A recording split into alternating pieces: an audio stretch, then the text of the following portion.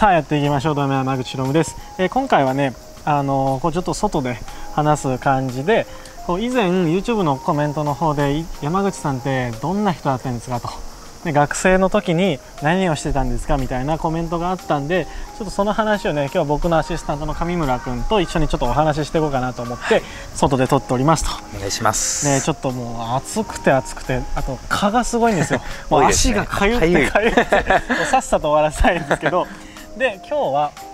そう僕が学生の時に何をこうしててしてたのかっていうところとなんでこう美容師を目指したのかっていうところをちょっとお話ししていきたいと思います。今日はちょっとラフな感じでいくんでよろしくお願いします。じゃあそもそも、うん、ひろもさんなんで美容師を目指そうと思ったんですか？うん。なんだろうななんか僕もともと頭いいんですよ。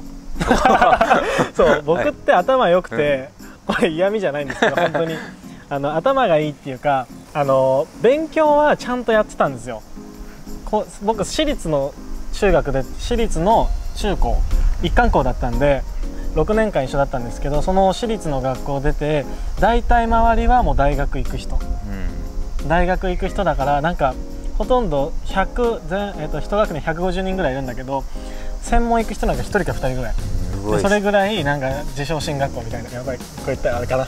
自称自称自称まあまあそれぐらいのそうでなんか俺も特に理由はなく勉強してて大学もなんかオープンキャンパスとか夏休み行って普通に大学行くんだろうなと思ってたんだけどなんか大学行って何をやろうか全然分かんなくて4年間あるじゃん、はい、4年間あるけど何を勉強するのか全く分かんなくてなんかいろんな学部があるけど小学とか経済とか、まあ、そ文系だったからね。そういうのかなと思ってたけど具体的にそれ出たから何になれるんだって全然分かんなくて。そうそうそう。だから、まあ、全然分かんなくてうちの両親が美容師だったっていうのもあって、うん、あとはこう髪の毛切ったりファッションとかおしゃれに関してすごい興味があったからまあ美容師かなっていう。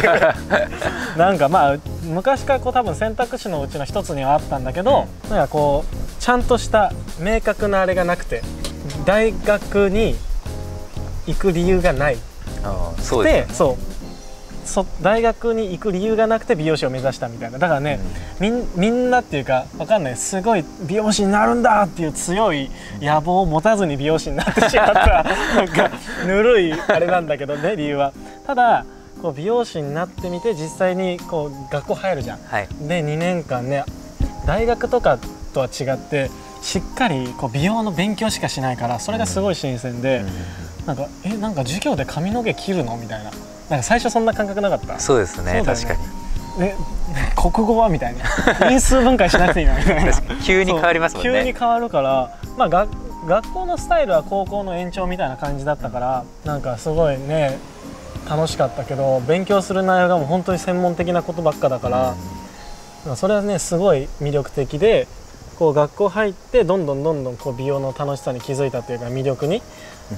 はまっていったっていうのがまあ、きっかけというか、まあ、そんな感じで今美容師をやってるかな。まあ、でも親が両親が美容師とかだったらそういう感じですなんとなくもうなんか、ね、なんとなくねそうだよね、まあ、家業じゃないけど、うん、もうなんかなるよね。親の、ね、親の姿を見てるからさ。多分皆さんもそういう人多分この動画見てる人は美容師の方多いと思うんだけどまあねもちろん親がご両親が美容師でもそうじゃなくてもやっぱ影響はされるよねされますね、うん。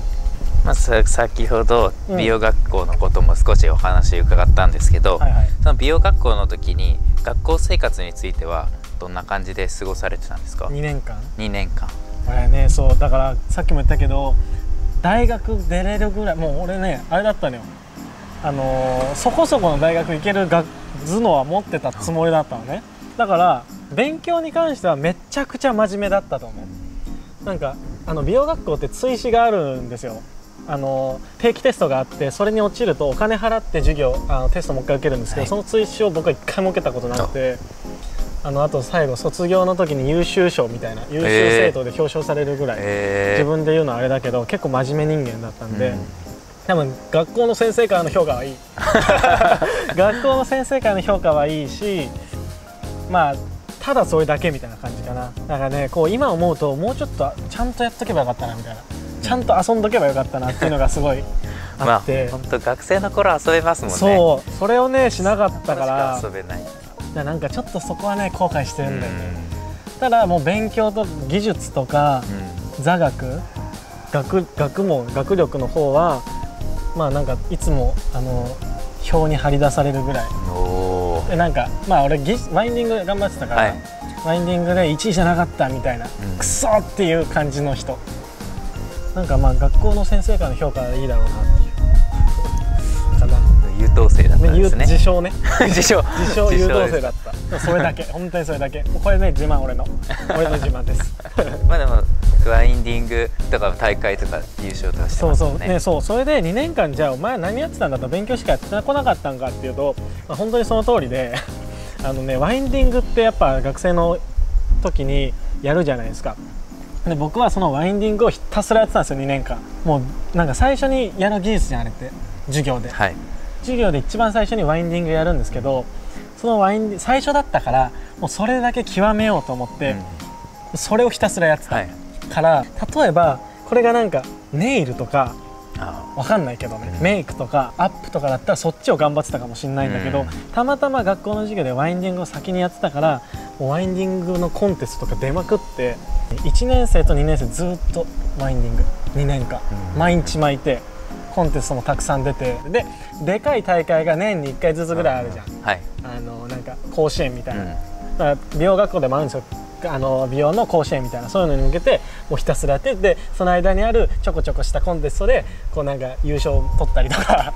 まあみたいなねことをしてて、まあ、カットのコンテストにも出てカットは一応ね全国大会で6位取ったのワインディングが最高の順位が1年生の時に全国5位だったかな。まあそのコンテストの規模にもよるけどそうそう一応全国大会で5位は取ったかなっていう感じ、うん、でも本当にねコンテストにしか出てなかった。まあでも楽しいですよねコンテストそうそうそう楽しいんだけど本当にそれしかしてなかったから、はい、それともう授業のテストだけを一生懸命やってたから、うん、もうなんか本当にね人と遊ばなかったしもうクラブで「えー」とかもなくて 本当にもう真面目なんか山口ひろむって言ったらもうなんか「あああのうまい子ねみたいな。真面目なうまい子ねみたいな感じ、はいはい、そんな。へ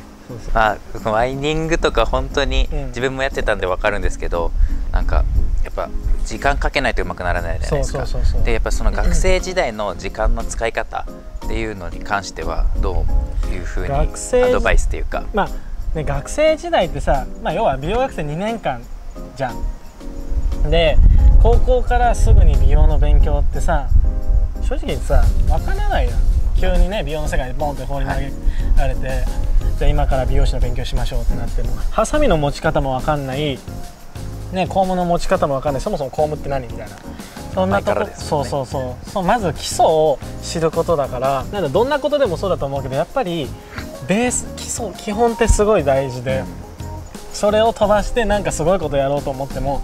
絶対にうまくいかないと思ってる、うん、まあうまくいったとしても長続きしないからどんなことでもそうだけど本当に基礎をしっかり固めた方がいいなって思ってて、はい、もう時間の使い方っていうことに関して最初はワインディングから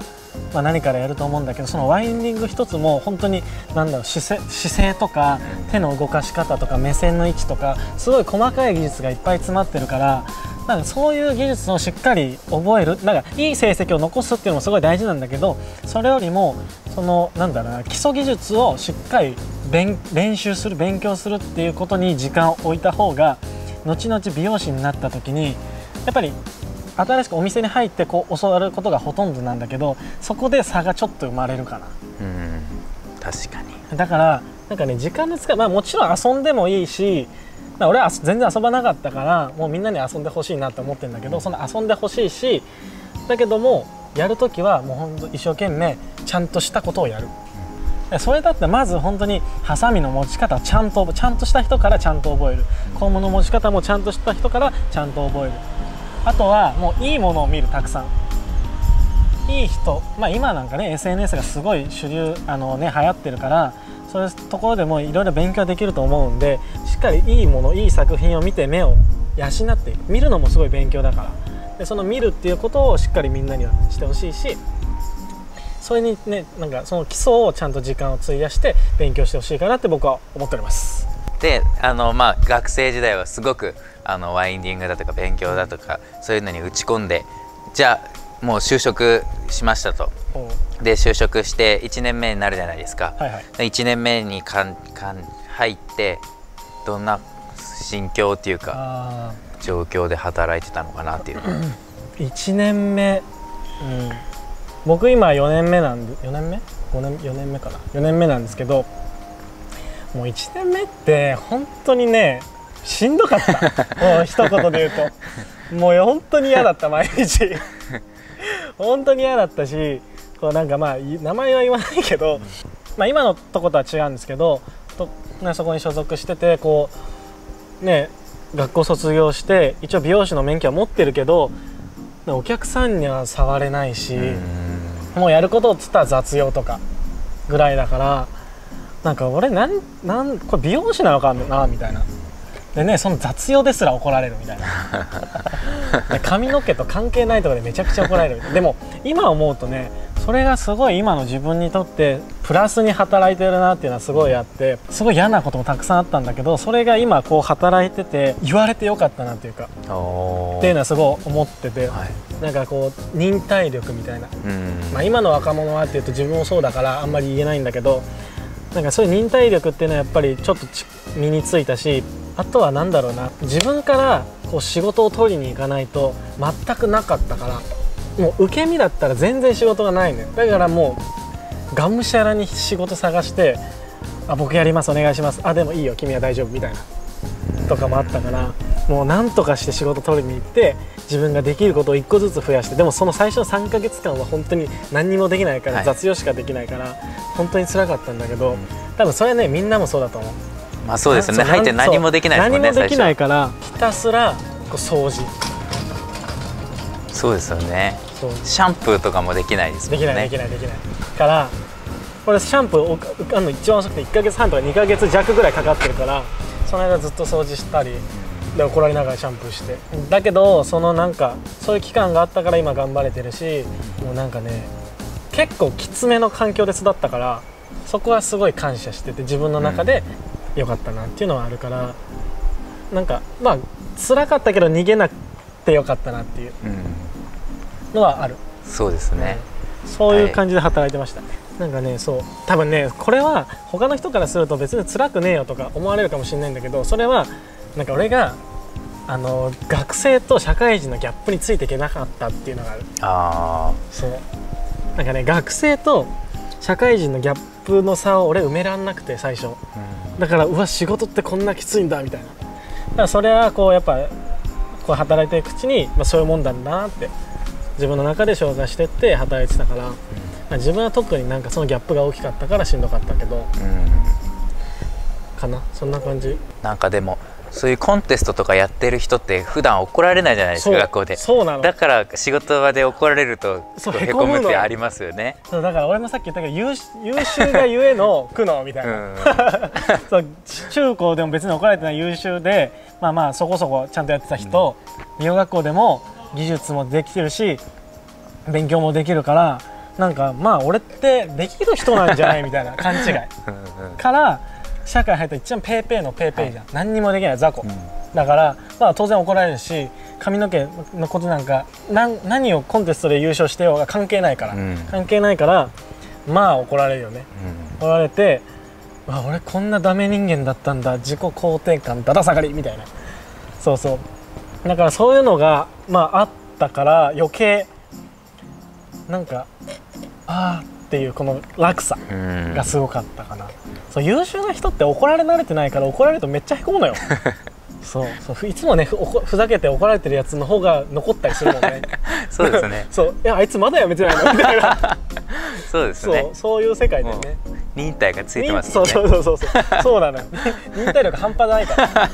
で俺はそれを1年目の間に経験したからまあまあよかったなっていうのはあるけどね逆にでもコンテストとかでこう諦めないというかめげないというか、うん、もちろん。そういうチャレンジし続けるそういうのもねところで。得れるコンテストとかでは得れるからそうですよね。そのプロ結果も大事だけどやっぱプロセスの方が大事だからそれのやった上で何を得たのかっていうところもすごい重要で、うん、そういうところはいいところもあるし悪いところもあってまあねそれは過去は変えられないからね。そうですね。じゃあこれから美容学生に何かなんか一歩同期と一歩差をつけたいっていう、うん、そういう美容学生に対して何かこう必要なスキルとかがあれば何かお話しいただきたいです。今美容学生僕が思う美容学生がこれをやっとけばいいんじゃないかっていうもうね行動してください。行動。本当に。行動です、ね、行動してくださいよ。なんか暗いね。だんだん日が落ちてきたんで。暗くなってき僕の顔が見えなくなってきましたけど 僕の顔が完全に見えなくなったら終わるんで。あのそう行動してまあ行動って一言に言ってもちょっとねなんか大きいんだけどこう自分からアクションを起こすっていうこと。あもちろんカットの勉強するでもワインディング一生懸命頑張るでもいいしでアルバイトしてお金貯めるとか、うん、でも何でも勉強をたくさんして頑張るでも何でもいいんだけどこう自分から何か自分の殻に閉じこもってないで外自分とはちょっと違う外の世界に、こう突っ込んでみるというか。そうです、ね、それでその行動力ってあの大人になると友達ってできないじゃん。そうですね。同じ狭い業界の人しか美容師なら美容師しかそうですもんね。だしこうなんかね自分からアクションすることがなくなると人間ってダメなんだよね、うん、やっぱその学ぶっていうか勉強する姿勢っていうかまあ、本当にそれ何でもいいのよ。バインディングだろうがカットだろうが何だっていいんだけど本当に自分からやる動くっていうのがすごい必要で。じゃないとそれそういう癖がつくともうなんか受け身受け身になっちゃって会社に所属する仕事するまあフリーランスはちょっと違うんだけど会社に所属して